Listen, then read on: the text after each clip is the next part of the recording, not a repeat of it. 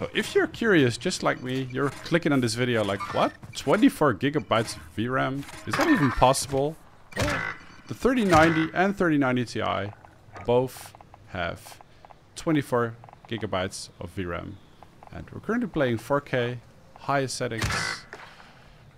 And it's using a whopping 23.2 and it can go up to 24 gigabytes of VRAM.